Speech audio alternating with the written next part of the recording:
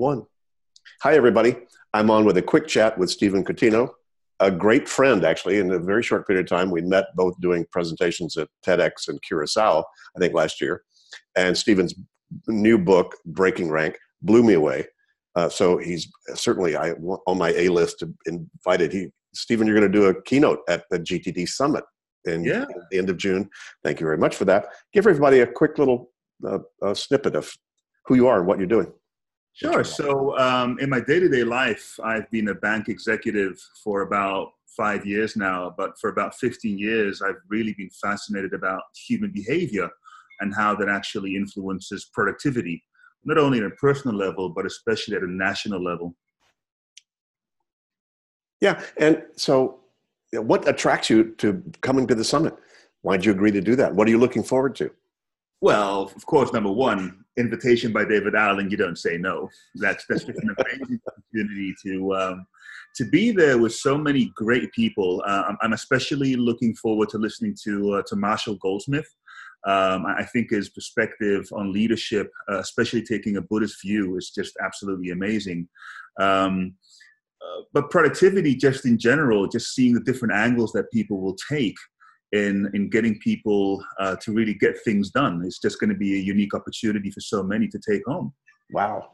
Yeah, I think so too. And Steven, you're you've got a keynote slot.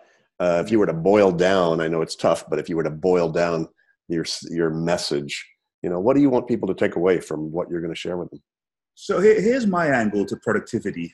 I believe it comes from um, the perspective of who am I? It's how we answer the question who am I, that leads us to either get things done or not get things done. And, and, I really believe that education is one of the key drivers that develops a perspective of who am I?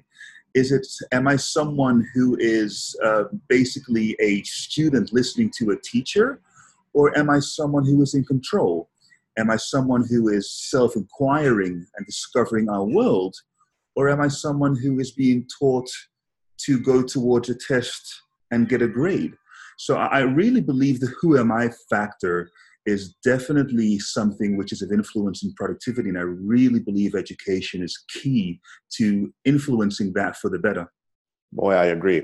And certainly your book, Breaking Rank, you know, sort of broke open for me how powerful self-image is. And you you sort of got into that game because you were an educator and you have been, at least avocationally and you know what you noticed about kids you know uh, sort of waiting to be told what to learn as opposed to being curious and triggering that response. I think that's just way cool. So delighted that you're coming. So uh, i think everybody would look forward to what you're going to have as a message and just meeting you between the lines. You're such a great guy. So thanks thanks steven. We'll see you in june. yeah. take care. Bye bye